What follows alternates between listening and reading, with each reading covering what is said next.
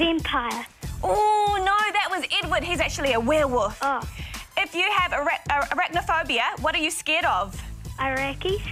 No, no spiders. All right, I keep moving on. What is the name of SpongeBob SquarePants' squirrel friend?